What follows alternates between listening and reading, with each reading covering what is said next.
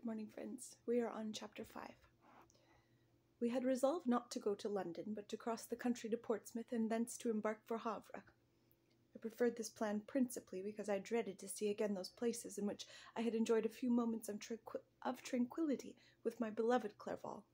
I thought with horror of seeing again those persons whom we had been accustomed to visit together, and who might make inquiries concerning an event, the very remembran- remembrance of which made me again feel the pang I endured when I gazed on his lifeless form in the inn. As for my father, his desires and exertions were bounded to to the again seeing me restored to health and peace of mind. His tenderness and attentions were unremitting, my grief and gloom was obstinate, but he would not despair. Sometimes he thought that I felt deeply the degradation of being obliged to answer a charge of murder, and he endeavored to prove to me the futility of pride. Alas, my father, said I, how little do you know me. Human beings, their feelings and passions would indeed be degraded if such a wretch as I felt pride. Justine, poor unhappy Justine, was as innocent as I, and she suffered the same charge. She died for it, and I am the cause of this. I murdered her. William, Justine, and Henry all died by my hands. My father had often, during my imprisonment, heard me making the same assertion.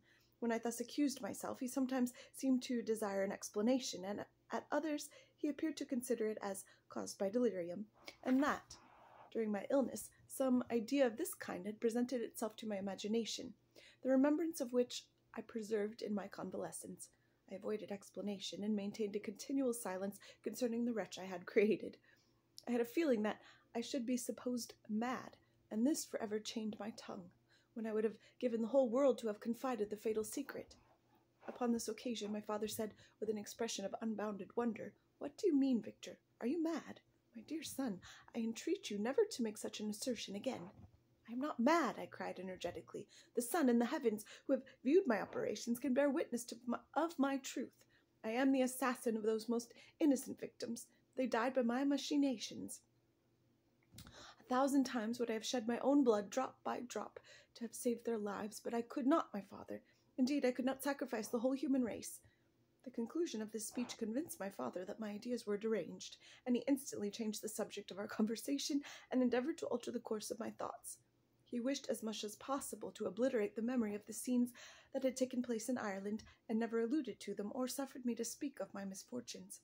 As time passed away, I became more calm. Misery had her dwelling in my heart, but I no longer talked in the same incoherent manner of my own crimes. Sufficient for me was the consciousness of them. By the utmost self violence, I curbed the imperious voice of wretchedness, which sometimes desired to declare itself to the whole world, and my manners were calmer and more composed than they had ever been since my journey to the Sea of Ice. We arrived at Havre on the 8th of May and instantly proceeded to Paris, where my father had some business which detained us a few weeks. In this city I received the following letter from Elizabeth.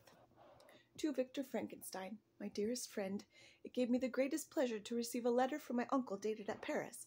You are no longer at a formidable distance, and I may hope to see you in less than a fortnight. My poor cousin, how much you must have suffered. I expect to see you looking even more ill than when you quitted Geneva. This winter has been passed most miserably, tortured as I have been by anxious suspense. Yet I hope to see peace in your countenance, and to find that your heart is not totally devoid of comfort and tranquillity. Yet I fear that the same feelings now exist that made you so miserable a year ago, even perhaps augmented by time. I would not disturb you at this period, when so many misfortunes weigh upon you, but a conversation that I had with my uncle previous to the, his departure renders some explanations necessary before we meet. Explanation, you may possibly say, what can Elizabeth have to explain? If you really say this, my questions are answered, and I have no more to do than to sign myself your affectionate cousin. But you are distant from me, and it is possible that you may dread and yet be pleased with this explanation, and in a prob- probability of this being the case, I dare not any longer postpone writing what, during your absence, I have often wished to express to you, but have never had the courage to begin. You well know, Victor, that our union had been the favorite plan of your parents ever since our infancy. We were told this when young, and taught to look forward to it as an event that would certainly take place. We were affectionate playfellows during childhood, and I believe dear and valued friends to one another as we grew older but as brother and sister often entertain a lively affection towards each other without desiring a more intimate union, may not such also be our case? Tell me, dearest Victor, answer me, I conjure you, by our mutual happiness, with simple truth. Do you not love another? You have traveled, you have spent several years of your life in Ingolstadt, and I confess to you, my friend, that when I saw you last autumn so unhappy, flying to solitude from the society of every creature, I could not help supposing that you might regret our connection, and believe yourself bound in honor to fulfill the wishes of your parents, although they oppose themselves to your inclinations. But this is false reasoning. I, I confess to you, my cousin, that I love you, and that in my airy dreams of fut- futurity you have been my constant friend and companion but it is your happiness I desire as well as my own, when I declare to you that our marriage would render me eternally miserable unless it were the dictate of your own free choice. Even now I weep to think that, borne down as you are by the cruelest misfortunes, you may stifle, by the word honor, all hope of that love and happiness which would alone restore you to yourself. I, who have so interested in an affection for you, may increase your miseries tenfold by being an obstacle to your wishes. Ah, Victor, be assured that your cousin and playmate has too sincere a love for you not to be made miserable by this supposition. Be happy, my friend, and if you obey me in this one request, remain satisfied that nothing on earth will have the power to interrupt my tranquillity. Do not let this letter disturb you. Do not answer it tomorrow or the next day, or even until you come, if it will give you pain. My uncle will send me news of your health, and if I see but one smile on your lips when we meet, occasioned by this or any other exertion of mine, I shall need no other happiness. Elizabeth Lavenza, Geneva, May 18th. This letter revived in my memory what I had before forgotten the threat of the fiend I will be with you on your wedding night. Such was my sentence, and on that night would the demon employ every art to destroy me and tear from me the glimpse of happiness which promised partly to console my sufferings. On that night he had determined to consummate his crimes by my death. Well, be it so. A deadly struggle would then assuredly take place, in which he was if he was victorious, I should be at peace, and his power over me be at, at an end. If he were vanquished, I should be a free man. Alas, what freedom!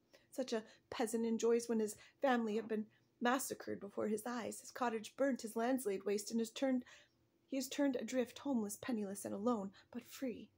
Such would be my liberty, except that in my Elizabeth I possessed a treasure, alas, balanced by those horrors of remorse and guilt which would pursue me until death. Sweet and beloved Elizabeth, I read and reread her letter, and some softened feeling stole into my heart and dared to whisper parad- paradisiacal, paradisiacal, paradisiacal dreams of love and joy. But the apple was already eaten, and the angel's arm bared to drive me from all hope. Yet I would die to make her happy. If the monster executed his threat, death was inevitable. Yet again I considered whether my marriage would hasten my fate my destruction might indeed arrive a few months sooner, but if my torturer should suspect that I postponed it, influenced by his menaces, he would surely find other and perhaps more dreadful means of revenge. He had vowed to be with me on my wedding night, yet he did not consider that threat as binding him to peace in the meantime, for as if to shew me that he was not yet satisfied with blood, he had murdered Clerval immediately after the enunciation of his threats. I resolved, therefore, that if my immediate union with my cousin could would conduce either to hers or my father's happiness, my adversary's designs, designs against my life should not retard it a single hour. In this state of mind, I wrote to Elizabeth. My letter was calm and affectionate. I fear, my beloved girl, I said, little happiness remains for us on earth, yet all that I may one day enjoy is, con- is con- concentred in you. Chase away your idle fears. To you alone do I consecrate my life, my endeavors for contentment. I have one secret, Elizabeth, a dreadful one, one revealed to you. It will, when revealed to you, it will chill your frame with horror, and then, far from being surprised at my misery, you will only wonder that I survive what I have endured. I will confide this tale of misery and terror to you the day after our marriage shall take place. For my sweet cousin, there must be perfect confidence between us, but only after. Men. But until then, I conjure you, do not mention or allude to it. This I most earnestly entreat, and I know you will comply. In about a week after the arrival of Elizabeth's letter, we returned to Geneva. My cousin welcomed me with warm affection, yet tears were in her eyes as she beheld my emaciated frame and feverish cheeks. I saw a change in her also. She was thinner, and had lost much of that heavenly vivacity that had before charmed me, but her gentleness and soft looks of compassion made her a more fit companion for one blasted and miserable as I was. The tranquillity which I now enjoyed did not endure. Memory brought madness with it. When I thought on what had passed, a real insanity possessed me. Sometimes I was furious and burnt with rage, sometimes low and despondent. I neither spoke or looked, but sat motionless, bewildered by the multitude of miseries that overcame me. Elizabeth alone had the power to draw me from these fits. Her gentle voice would soothe me when transported by passion, and inspired me with human feelings that sunk in torpor. She wept with me and for me. When reason returned, she would rem- remonstrate and endeavor to inspire me with resignation. Ah, it is well for the unfortunate to be resigned, but for the guilty there is no peace. The agonies of remorse poison the luxury there is otherwise sometimes found in indulging the excess of grief. Soon after my arrival, my father spoke of my immediate marriage with my cousin. I remained silent. Have you, then, some other attachment? None on earth. I love Elizabeth, and looked forward to our union with delight. Let the day therefore be fixed, and on it I will consecrate myself in life or death to the happiness of my cousin. My dear Victor, do not speak thus. Heavy misfortunes have befallen us, and let us only cling closer to what remains, and transfer our love for those whom we have lost to those who yet live. Our circle will be small, but bound close by the ties of affection and mutual misfortune. And when time shall have softened your despair, new and dear objects of care will be born to, will be born to replace those of whom we have been so cruelly deprived. Such were the lessons of my father, but to me the remembrance of the threat returned. Nor can you wonder that, omnipotent as the fiend had yet been in his deeds of blood, I should almost regard him as invincible, and that when he had pronounced the words, I shall be with you on your wedding night, I should regard the threatened fate as unavoidable. But death was no evil to me. If the loss of Elizabeth were balanced with it, and I therefore, with a contented and even cheerful countenance, agreed with my father that if my cousin would consent, the ceremony should take place in ten days, and thus put, as I imagined, the seal of, to my fate. Great God! For if one instant I had thought what might be the hellish intention of my fiendish adversary, I would rather have banished myself forever from my native country, and wandered a friendless outcast over the earth, than have consented to this miserable marriage. As if possessed by magic powers, the monster had blinded me to his real intentions, and when I thought that I prepared only but my own death, I hastened that by a far dearer victim. I hastened that of a far dearer victim. As the period fixed for our marriage drew nearer, whether from cowardice or a prophetic feeling, I felt my heart sink within me. But I concealed my feelings by an appearance of hilarity that brought smiles and joy to the countenance of my father but hardly deceived the ever watchful and nicer eye of Elizabeth. She looked forward to our union with placid contentment, not unmingled with a little fear, which past misfortunes had impressed. That what now appeared certain and tangible happiness might soon dissipate into an airy dream, and leave no trace but deep and everlasting regret. Preparations were made for the event, congrat- congratulatory visits were received, and all wore a smiling appearance.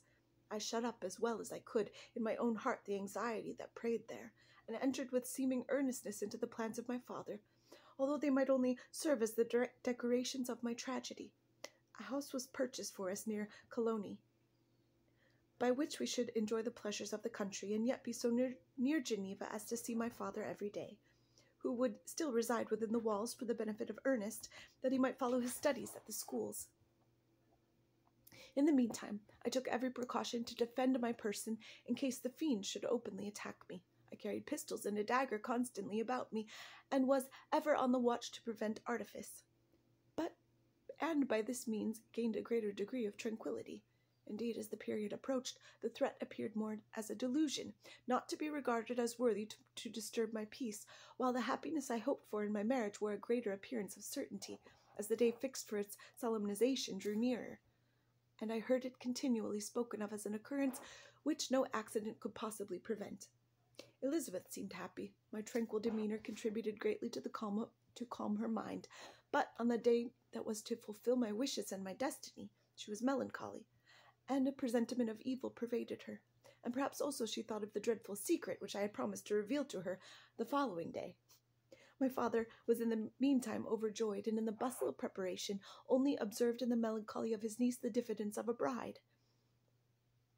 After the ceremony was performed, a large party assembled at my father's, but it was agreed that Elizabeth and I should pass the, the afternoon and night at Evian, and return to Cologny the next morning. As the day was fair and the wind favorable, we resolved to go by water. Those were the last moments of my life during which I enjoyed the feeling of happiness. We passed rapidly along, the sun was hot, but we were sheltered from its rays by a kind of canopy. While we enjoyed the beauty of the scene, sometimes on the on one side of the lake, where we saw Mount Saleve, the pleasant banks of Montalegre, and at a distance surmounting all, the beautiful Mount Blanc, and the assemblage of snowy mountains that in vain endeavored to emulate her. Sometimes coasting the opposite banks, we saw the mighty Jura opposing its dark side to the ambition that would quit its native country, and an almost insurmountable barrier to the invader who should wish to enslave it. I took the hand of Elizabeth. You are sorrowful, my love. Ah, if you knew what I have suffered, and what I may, may yet endure, you would endeavor to let me taste the quiet and freedom from despair that this one day at least permits, permits me to enjoy. Be happy, my dear Victor, replied Elizabeth.